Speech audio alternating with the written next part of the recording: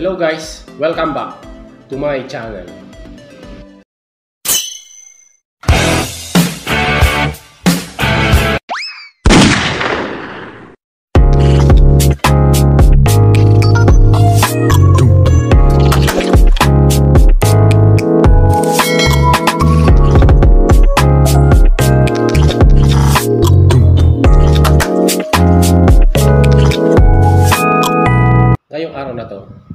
Subukan naman natin magluto ng panghimagas, uh, pang merienda. Kung meron kayong bisita, pwede nyo ihanda. Tara guys, subukan natin magluto ng tibok-tibok. Panorin nyo to. So, ayan guys, ito yung mga gagamitin natin. Meron tayong kondensada, isang peraso. Dairy cream, kalahating peraso. Tsaka ito, Nestle cream, isang peraso din. At tsaka ito, whole kernel kern, isang peraso din. Yan. At kailangan din natin ng evaporada, dalawa.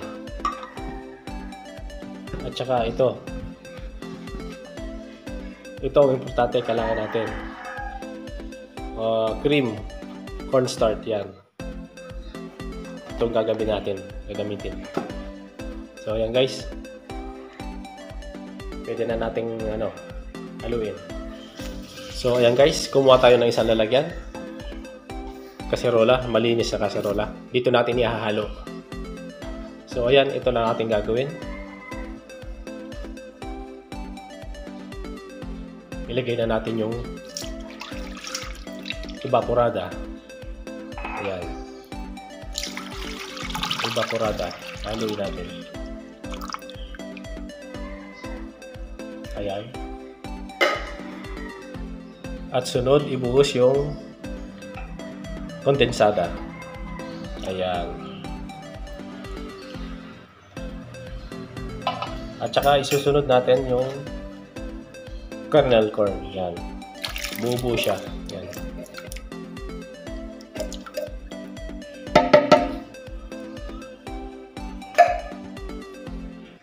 Pagkatapos, ilalagay natin yung Nestle cream. Yan.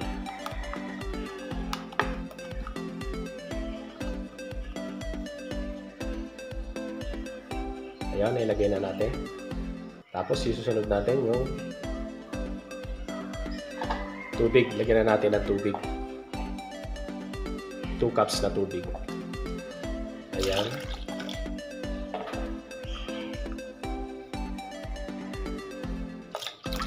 Ayan, dalawa. Dalawang tasang tubig. At isusunod na natin ilagay yung uh, cream. Butter, yan. Lalagyan natin ng konti. Yan.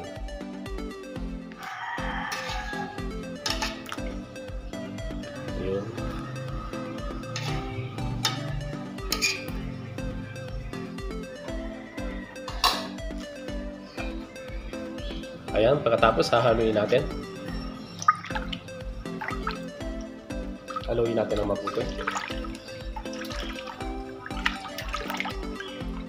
Para magsama-sama yung mga sangkap niya.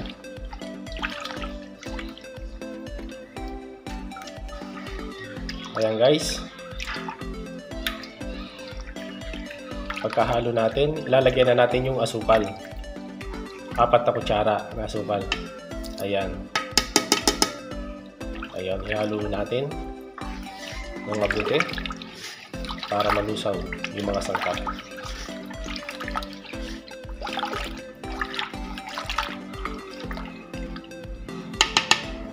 So ayan guys, nahalo na natin. Kailangan na natin pakuluan ng sa dahan-dahan na po eh. So ayan, kinailagay ko na sa aking kalan. Ang gagawin natin guys, hahaluin natin ng hahaluin para maha mahalo siya ng gusto para hindi siya masunog sa ilalim. Pagkatapos nito, kukunin na natin yung cornstarch. Lalagyan natin ng tubig, hahaluin bago natin ibuhos dito. guys, meron kami dito cornstarch. Dalawang tasang takal. At lalagyan na natin ng tubig. Ilan yan? Uh, one cup na tasang tubig. Hahaluin natin. Ayan. Haluin lang natin hanggang sa matunaw yung cornstarch.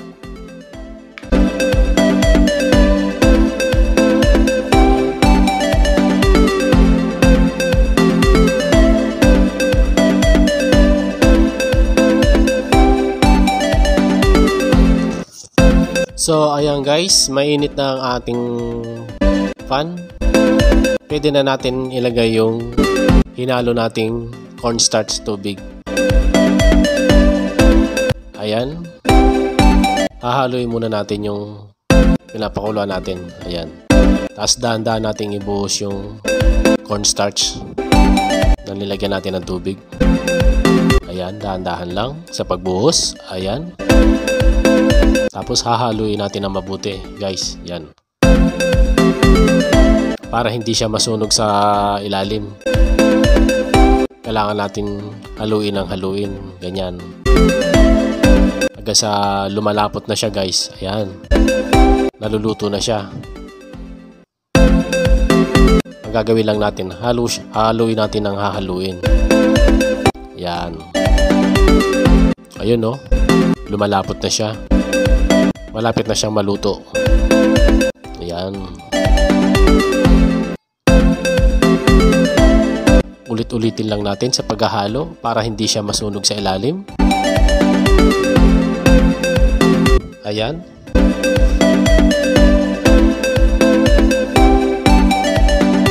Ayan guys, malapit na siyang maluto.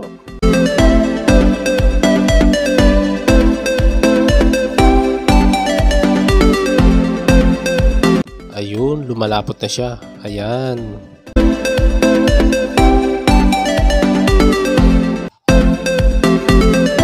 Pwede rin kayo guys gumawa ng ganito. Tapos ibenta nyo. Pang negosyo. Mga sigurado magugustuhan to ng mga customers nyo. Sigurado kikita kayo ng marami dito. Konting puhunan. Malaking kita-kitain nyo dito.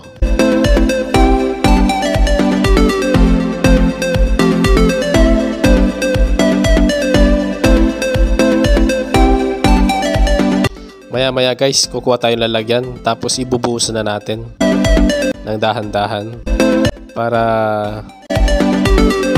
para doon siya tumigas.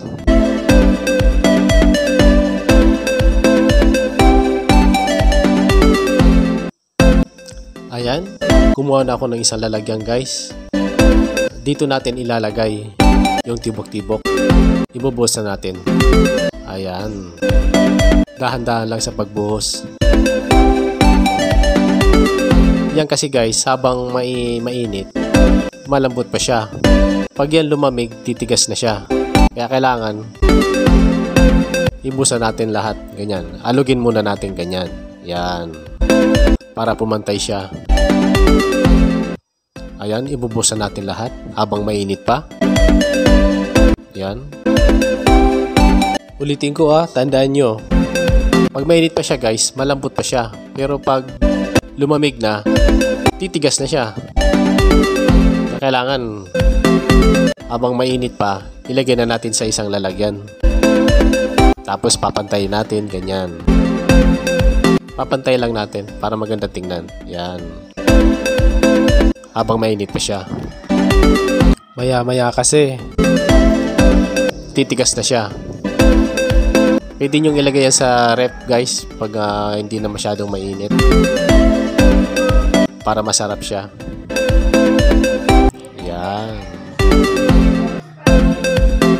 So ayan guys. Yan ating yan ang ating tibok-tibok for today. Pwede pang handa sa merienda. Kahit sa mga okasyon, pwede nyong iserve yan. Tapos guys, lalagyan natin ng cheese sa ibabaw. Ako kasi nilalagyan ko ng cheese yan sa ibabaw para dagdag sarap din. Yan. Ayun no. Maya maya, pwede na natin yan upakan. Pwede na natin kainin.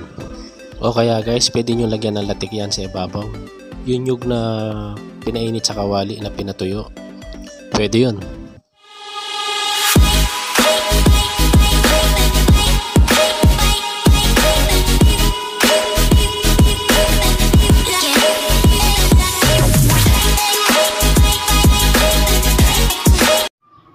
Guys, maraming salamat sa inyong panonood. Sana kung bago ka sa akin channel, pakipindot na lang ang subscribe button at hit mo na rin ang bell button para lagi kayong updated sa mga video ko.